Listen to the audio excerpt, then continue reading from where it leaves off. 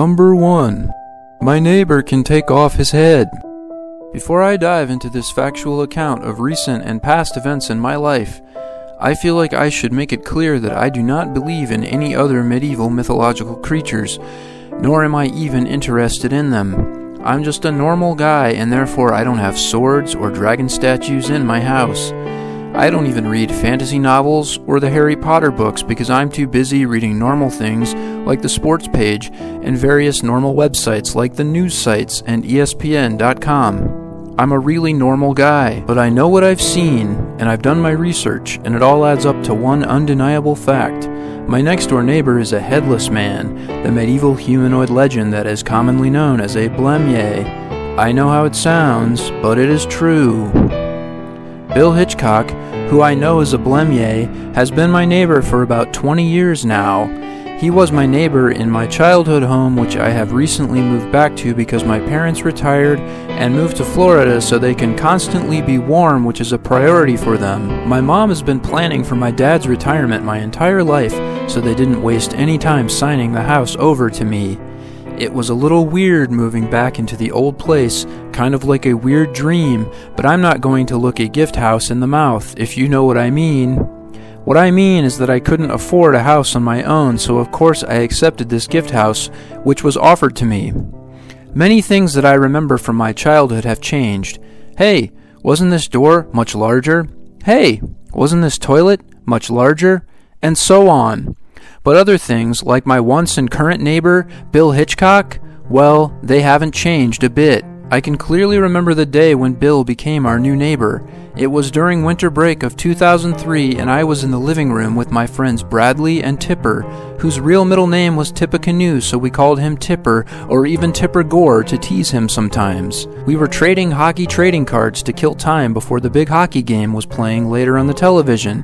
We had the biggest television set, which was simply a fabulous way to view hockey if you couldn't go to the ice rink in person, so we always gathered at my house to watch hockey games. We were in the middle of a difficult multi hockey card trade when suddenly Tipper perks up and runs to the big window. There was a huge moving truck backing into the driveway. Bradley gasped a little like he just realized something and then said, Maybe some hot girls are moving in, and then raised and lowered his eyebrows and blew kisses at us until we told him, Stop doing that, we don't like that. Everyone ran outside to meet the new neighbors, but instead we just met a group of burly male movers who had a lot of boxes to move. I remember thinking that, judging by the number of boxes, it must be a large family and maybe there would be hot girls after all. I was 13 years old, so hot girls were a serious priority. My mom finally got one of the movers' attention by embarrassingly saying, Yoo-hoo! and waving a handkerchief like a damsel in distress, and he came over to the fence where we were just staring. He puts a big box down and says, Your new neighbor ain't here right now. We're putting everything in the house and he's moving in sometime tonight. Just so you know, he was in some sort of accident, so he is basically housebound. You might not see much of him, he seems very private. We'll be leaving the keys under the welcome mat for him. He should know where to get them, but I thought I'd let you know, just in case. Once we were back in the house, we all agreed that this was a perfect opportunity for three naughty boys, which is what we called our prank club, which was heavily inspired by a television show called Punk'd, starring Ashton Kutcher, in which he would play hilarious pranks on various celebrities and people. We were inspired to create and film pranks of our own, and we even bought matching fedoras to wear while we did so. This was before the days of YouTube, but I think we hoped somehow we would make a career out of being pranksters or something, but mainly we just showed them to our friends at parties. Needless to say, we were always ready for a good prank, and Bradley and Tipper immediately retrieved their fedoras from their backpacks, and I got mine along with the little camera we used to film things. Once we learned about the key to my new neighbor's house under the welcome mat, the three naughty boys were officially open for business. There were two keys under the mat, and they just slid into the locks like a hot fork into a fresh batch of yellow butter. We walked into a house full of boxes and realized we didn't even have any prank planned. We tried moving the boxes around, but then realized that they probably weren't in any order to begin with. That was when I discovered a box that was labeled hats. Bradley had the bright idea of taking the hats and putting them on the other boxes so that it would look like all the boxes were wearing hats. It would be funny to film his reaction when he sees all the boxes wearing hats. I guess we weren't very good at being pranksters, which is one of probably many reasons why we didn't go pro and get our own show like Ashton. When I ripped the tape off that box labeled hats and flung the cardboard flaps open, we all gasped and fell backwards onto the floor. Tipper's fedora flew off his head and into the box labeled hats, which didn't contain any hats until that moment because it was a box full of human heads. Or so we thought. As we crept over to the box and gazed nervously into it, we discovered that they were human heads, but that they were all made out of plastic or foam or something. They also had prosthetic rubber shoulder pads attached to them so a person could wear them, especially someone who didn't already have a human head resting on their shoulders. But of course, I didn't know that Bill was a Blemmyae at that point. Bradley suggested that these must be props for movies and that our new neighbor must be a special effects artist or something for movies. Why in the world would someone who works in the movies business move to Minnesota? I asked, but nobody had an answer. Maybe he can help us with prank related pyrotechnics, Tipper said, ignoring my question. We had always wanted to incorporate explosions into our pranks, but so far we had only melted my dad's homemade bird bath on accident and then blamed it on the high school varsity baseball team. We wrote a very nice letter to my new neighbor, explaining what the three naughty boys were all about and how we would love it if he could teach us about making props or how to make better quality videos or whatever. We placed the letter on the kitchen counter and then put three of the fake heads around it, and then put our fedoras on the heads like they represented us being there, and also it was a great excuse for us to come back soon to retrieve our hats. Or so we thought. The next morning, there were three fedora hats in my backyard that were totally snowed on and maybe chewed on, along with our note, which had also been snowed on but was covered with a giant no that looked like a monster wrote it in red crayon. It was troubling to say the least, but fortunately, we all had received Pacific Sunwear gift certificates for Xmas, aka Christmas, so we were all able to replace the hats. It was still a weird and totally rude move, but we did break and enter into the guy's house, I guess. As we say in the sport of hockey, turn around is fair play. Naturally, the three naughty boys had to get revenge on this fool who disrespected and ruined their cool hats, so we started looking around my yard for inspiration. Inside my dad's old tool shed, we found our source of inspiration. It was the old family toilet. For some reason, this toilet was so heavy that our upstairs floor started to creak and crack, so it had to be replaced by a toilet that weighed a normal amount. My dad, unwilling to admit that he had purchased a toilet that wasn't regulation weight, had vowed to use this toilet somehow and was even planning to turn it into a new bird bath. It took the strength of all three of us naughty boys to lug that thing into Mr. Hitchcock's front yard. There was snow everywhere, so we obviously left a trail of footprints from the toilet in the center of his front yard all the way to my backyard, but that kind of just made it funnier. It really stood out in the white snow because of its seafoam green color. But it needed something. And that something was an old pizza box from the trash. On the grease stained bottom of the box, Bradley wrote Poop $5, P $1 with a sharpie and propped it up next to the toilet facing the road so it looked like our new neighbor was charging way too much money for the privilege of using the bathroom in his front yard, in public, in the snow. It was hilarious to three naughty 14 year old boys, but it was still missing something. Of course, we needed to film people reacting to it, otherwise, it was just a video of this strange public toilet in the snow with nothing happening to it. We tried filming cars driving by, but nobody seemed to react to it. My dad even drove by on his way home and didn't look or say anything. This one neighbor, Gilbert Eubanks, was walking his dog, so Tipper started filming, but Gilbert Eubanks was clearly more focused on his dumb tiny dog and not looking over at the hilarious toilet, so I had to yell, Hey, Gil, look! And then he was looking over at the three of us just standing behind the fence with a camera and was like, What? What am I looking at? And then I pointed over to the toilet and he looked and then said, Oh, I see. Very funny, boys, in this voice like he wasn't impressed at all. It just looked confusing on the video and you can barely hear him. That's when we decided that it would be super funny to alert Mr. Hitchcock to this hilarious thing in his yard and see him come out and react to it and be super confused and have to deal with this weird problem. We decided upon a classic routine of ding dong's dash, whereby one naughty boy rings another person's doorbell and then runs behind a fence or perhaps some bushes or shrubs and films it for his prank club. It is usually super funny under normal circumstances, to say the least, so the toilet for rent in the yard should have really elevated it to new heights. Or so we thought. It was starting to get dark by that point, so Bradley felt emboldened when he walked up to Mr. Hitchcock's door. The porch light provided a perfect amount of light to capture our misdeeds. In the video, you can clearly see Bradley walking up, wearing his trucker cap and sunglasses, even though it is the evening. Then he rings the doorbell a bunch of times and hauls ass to the back of the house so he can make a clean escape over the fence. The door cracks open just a tiny bit, and it is obvious that whoever is inside is looking at the toilet, but still, we were hoping for a reaction shot, so we're just filming the door for like 30 seconds, and then the porch light is turned off. There's a little light from the street and from my house, but you really can't see much on the video from this point, which is unfortunate, because this is when things get really nuts. Mr. Hitchcock comes out fast. It is very dark, but he is clearly very wide and tall. Not like he's overweight or something, he's un- just unusually wide and wearing an oversized trench coat or something. He goes straight for the toilet and lifts it, and when he does, we look at each other because we can't believe this feat of strength, but then he grunts and it is so loud it echoes down the street. He takes a step, and then realizes just how deceptively heavy this toilet is, props it up on his knee to get a better grip, lifts it even higher, which is a mistake, and then falls backward into the snow. The world's heaviest toilet is embedded in the snow right where Mr. Hitchcock's head just was. We only have time to look at one another and say some curse words when the body starts convulsing, and I was thinking, Oh god, this is horrible. Our prank killed a guy in the worst possible way to die. But then something happened. His arms swung back, gripped the toilet, and toppled it to one side. Then he stood up. It was hard to tell in the dark, but it was clear that he didn't have a head anymore. It kind of looked like it was bent backwards so that it came up out of his back or something. The headless body just stood there for a second, and then picked up the toilet and walked over to the sidewalk and threw it on the curb.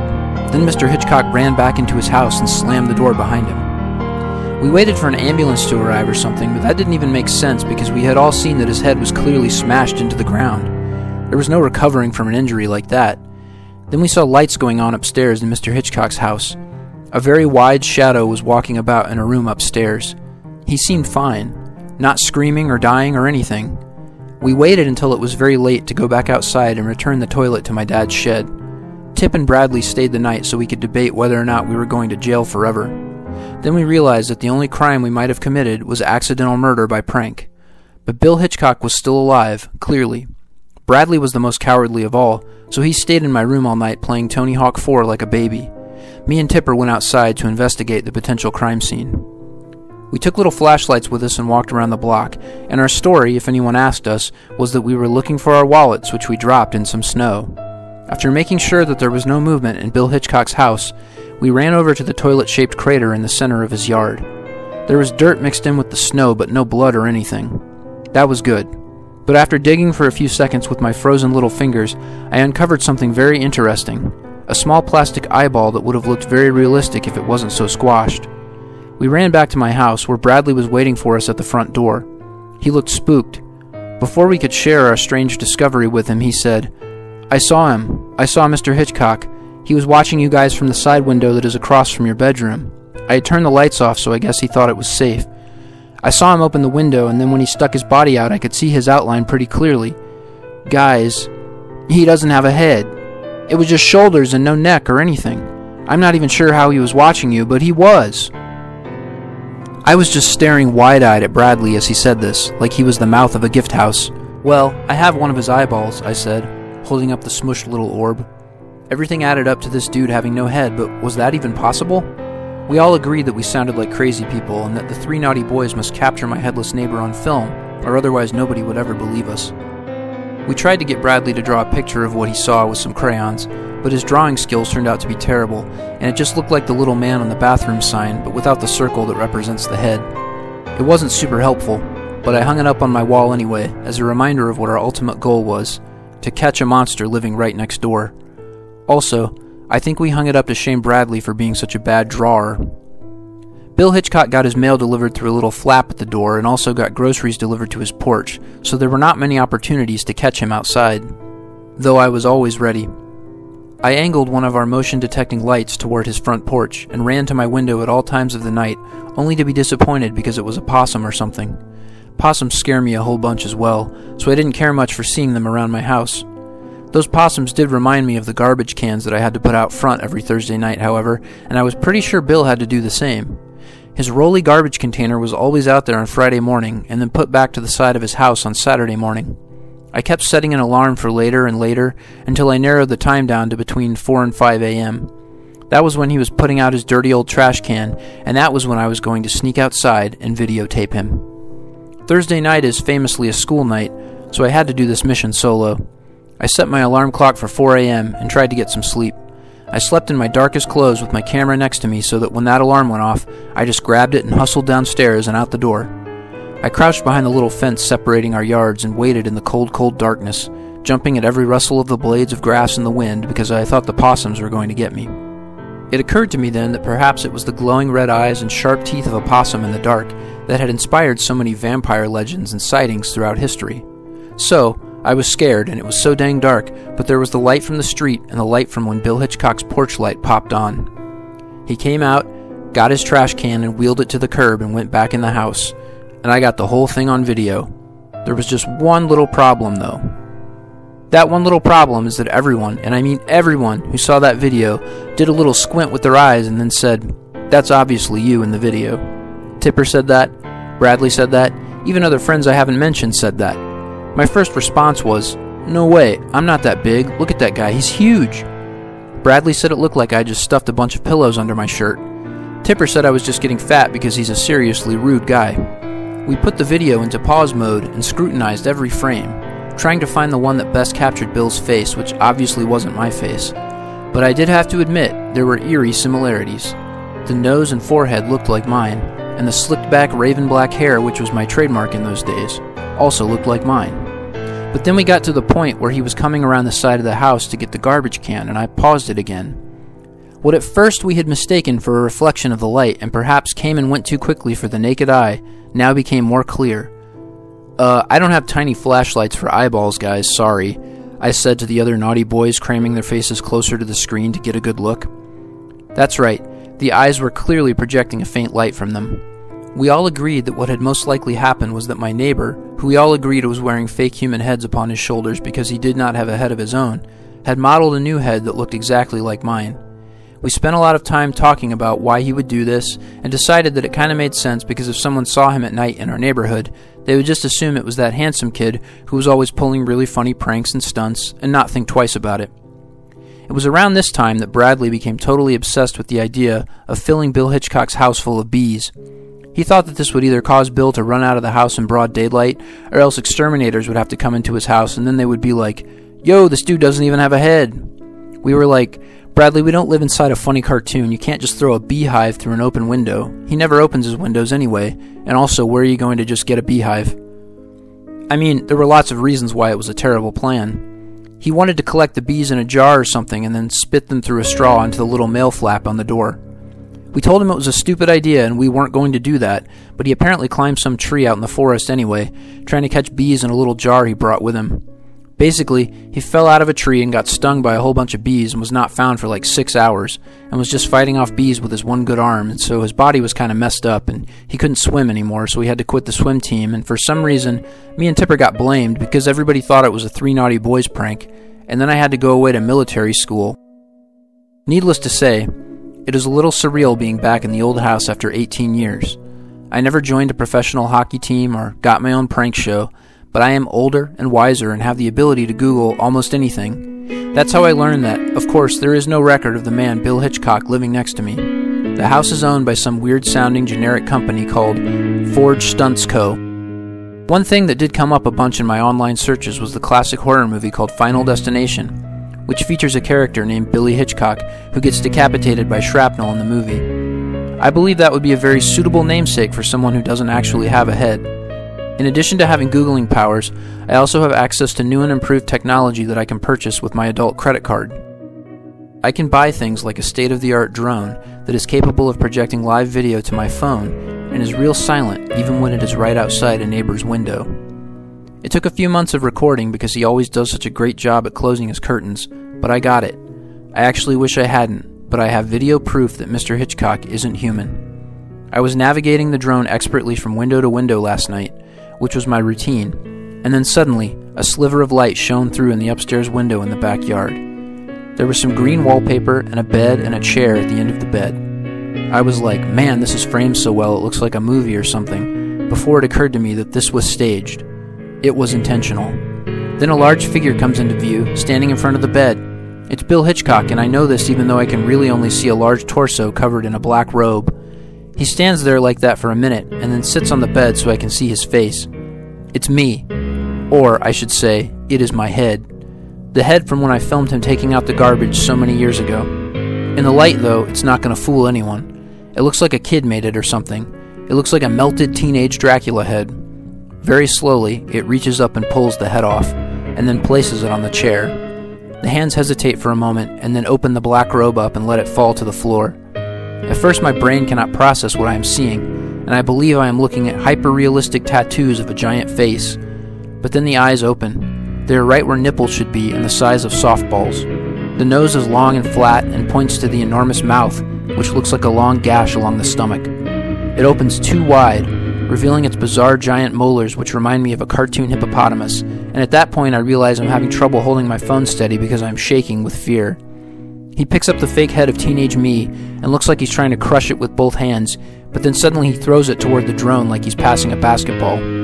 I guess the window was open and I just didn't notice. The drone was completely destroyed. I can see it from my window in his yard, but for some reason the fake head is nowhere to be seen.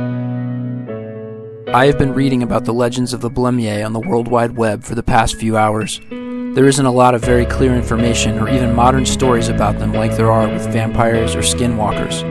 There are many different theories regarding how their facial features are arranged on the torso. However, there is one unique characteristic of the Blemmyae that many sources tend to agree on that they are all enthusiastic cannibals who love nothing more than to dine on human flesh. If you suspect someone in your life to be a Blemmyae because you have seen them remove their head, or if their head just doesn't seem totally real, please get in touch with me through this website. I know Bill can't be the only one out there.